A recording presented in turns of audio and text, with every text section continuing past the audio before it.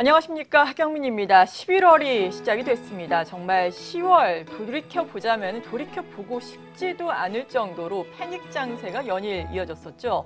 10월 한 달 동안 코스피 지수는 무려 13% 그리고 코스닥 지수는 무려 21%나 하락을 했습니다. 월간 하락률을 보자면은 2008년 이후에 최대의 10월 월간 하락률이라고 합니다. 2008년이라고 하자면은 금융위기 때였는데요. 지금의 위기 국면이 분명 그 악재의 성격으로 보자면은 금융위기만큼은 아니죠. 하지만 여러 가지 악재들이 산재한 가운데 호재성 소식이 없기 때문에 시장은 이렇게 투자 심리도 얼어붙으면서 큰 폭으로 하락한 게 아닐까 싶은데요. 아, 그렇다면은 지금 지금 그나마 며칠 연속 지금 반등이 나오고 있는 국면, 이 반등을 어떻게 해석을 해야 하는지 11월에는 과연 10월보다는 나아질 수 있는 국면인지 철저한 그리고 냉철한 분석이 필요해 보입니다. 마켓 인사이드를 통해서 여러 가지 어, 궁금증에 대한 또 해결점을 찾아보도록 하겠습니다.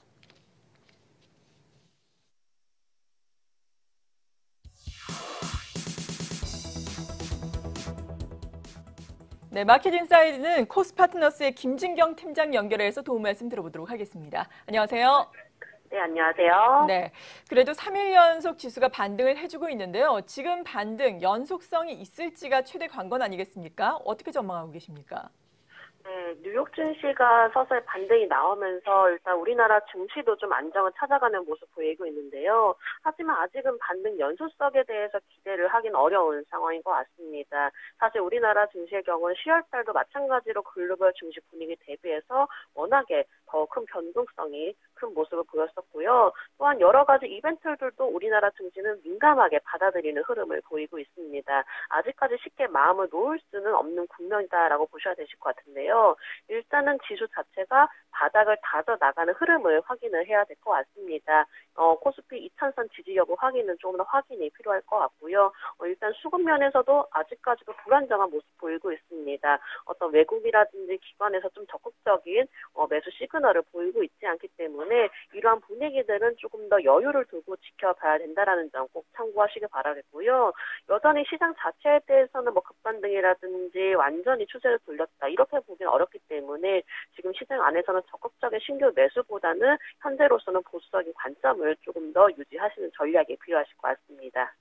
네, 아직까지는 바닥 확인 과정을 더 거쳐야 되기 때문에 보수적인 관점이 필요하다라고 말씀을 해주셨는데 어, 이렇게 위기 국면이 계속해서 이어지다 보니까 정부에서도 또 부양책을 여러 가지를 이야기를 하고 있습니다. 5천억 원대 대책에 이어서 추가 대책도 필요하다면 말은 하겠다라고 밝힌 가운데 그래도 또 기관 쪽에서 적극적인 순매수가 들어오고는 있지 않잖아요. 개인들 같은 경우에는 투매성 물량을 좀 쏟아내다가 어제 오늘 같은 경우에는 시장에 또 적극적으로 순매수를 하고 있단 말이죠. 개인 투자자들의 지금 저가 매수의 형태 어떻게 보십니까?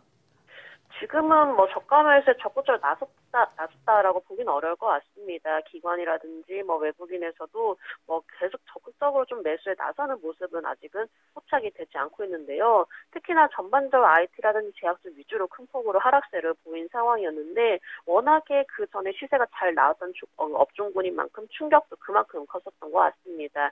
일단은 이러한 좀 업종군들이 너무나 큰 충격을 받은 만큼 아직까지는 전반적으로 좀 불안감이 남아있는 상황이지 않나라고 판단되고요. 그래도 뭐 시장의 분위기를 먼저 확인을 하고 가자라는 심리는 강해진 것으로 보입니다. 일단은 이런 심리를 바탕으로 해서 바닥권 확인이 여전히 필요하신 상황인 것 같고 뭐 기관의 뭐 매수라 매수 여부의 경우는 뭐 지금 당장 기대를 하기보다는 서서히 좀 더 시간을 두고 지켜보실 필요가 있으실 것 같습니다. 다만 개인에서 좀 워낙에 어, 공포 심리가 작용되면서 굉장히 큰 물량을 쏟아내는 모습 보였는데 이러한 부분에서도 마찬가지로 일단은 어느 정도 극폭으로 좀 하락했던 업종을 위주로 저가 매수에 나설 수 있는지 여부는 오히려 지금 당장 기대를 하는 것보다는 조금 더 시간이 지나고 나서 흐름들을 먼저 살펴봐야 되지 않나라고 판단됩니다. 네, 수급으로 보더라도 일단 상황을 관, 관망을 하는 게 필요하다라고 말씀해 주셨는데 그래도 또 굳이 지금 시장에서 들어가고 싶다라고 하시는 분들은 가치주 측면에서 낙폭 과대주를 접근을 해야 하느냐 그래도 그나마 좀 낙폭이 적었던 성장주 쪽으로 관심을 가져야 하느냐 이 부분에 대해서는 궁금해 하실 것 같은데요. 어, 앞으로 중장기적인 면을 보면은 당연히 성장 섹터를 눈여겨보면 좋으실 것 같습니다. 대표적으로 뭐 전기차 관련주 정도 말씀드릴 수 있을 것 같은데요. 어, 전기차 관련주의 경우는 지속적으로 긍정적인 전망들이 나오고 있고요. 최근 시장 대비해서 크게 흔들리는 모습도 보이지 않았습니다. 이미 기대감이 나타나서 반영이 된 업종보다는 앞으로 기대감이 반영이 될 업종군들에 주목하시는 게 좋으실 것 같고요. 계속적으로 뭐 실적이라든지 성장성 그리고 사업성 자체 내에서도 앞으로도 크게 어, 조금 확대를 할 수 있는 그런 업종군들 위주로 좀 살펴보시는 게 좋으실 것 같고 다만 이러한 업종군들의 경우 지금 당장 기대를 하시는 것보다는 조금 더 멀리 내다봐서 중장기적인 면에서 유효하다라고 판단됩니다. 다만 단기적으로 만약 보신다면 현재로서는 납폭 과대주로 좀 살펴보시는 게 좋으실 것 같은데요. 일단은 시장이 어느 정도 조금 반등세가 나오고 있기 때문에 그동안에 많이 하락을 했었던 큰 폭으로 많이 폭락했었던 종목들 위주로 기술적인 반등을 시도를 하고 있습니다. 따라서 만약에 단기 관점으로 보실 경우에는 납폭 과대주를 중심으로 짧게 대응하시는 전략이 유효하실 것 같고요. 여전히 개별 종목 위주의 장세는 진행이 되고 있습니다. 그렇기 때문에 시장 자체를 바라보시는 것보다는 바닥권에서 강한 탄력이 붙는 종목들 위주로 관심을 두시기 바랍니다. 네, 단기적으로 접근 가능하다. 특히나 낙폭 과대주 단기적으로 볼 수 있겠다라고 말씀해 주셨습니다.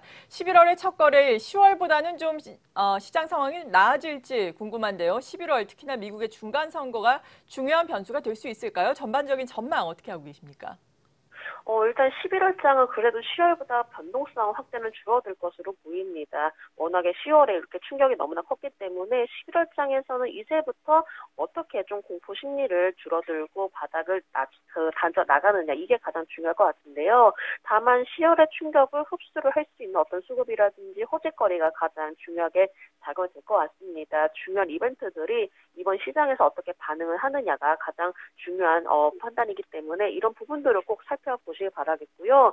어, 지금 11월 초반까지는 그래도 지수의 바닥 확인을 하는 과정이다라고 판단됩니다. 어느 정도 뭐 이렇게 공포 장세는 좀 마무리가 된 듯 하지만은 그래도 좀 시장이 다시금 반등하기 위해서는 탄탄한 좀 체력을 다져놔야 되는 과정도 필요하기 때문에 이런 지수의 지지라인부터 먼저 확인을 해 보실 바라겠고요.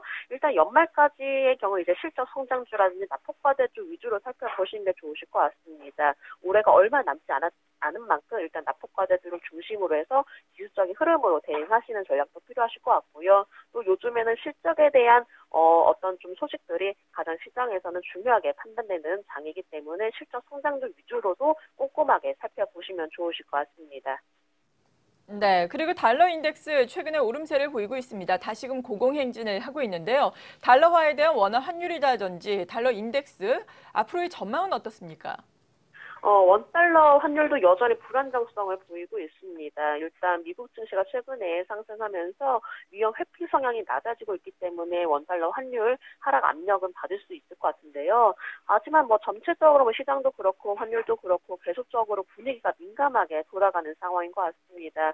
환율도 마찬가지로 현재로서 안정을 찾았다고 보기는 어려운 거 상황, 어려운 상황인 것 같고 만약이라도 증시가 변동세 확대가 된다면은 위험 선호 현상도 바로 나타날 가능성이 상황이 있기 때문에 환율의 경우는 아직까지는 좀 더 상황들을 더욱더 지켜보시는 전략이 필요하실 것 같습니다. 그렇기 때문에 전반적으로 환율에 대한 민감한 부분은 증시에 작용이 될 것으로 예상되기 때문에 어, 일단은 환율의 흐름 자체도 조금은 어, 중요하게 생각을 해보시면서 체크를 해보시는 전략이 필요하실 것 같습니다.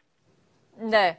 그리고 오늘 같은 경우 시장이 또 반등에 나서고 있는데 오늘장 단기적으로 투자 전략을 세워주신다면요?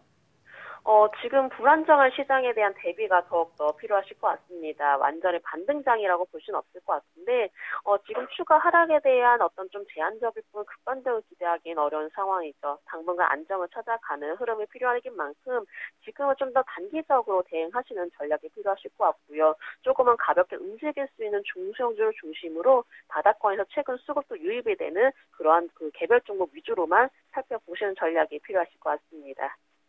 네, 지금까지 코스파트너스의 김진경 팀장이었습니다. 고맙습니다. 예, 감사합니다.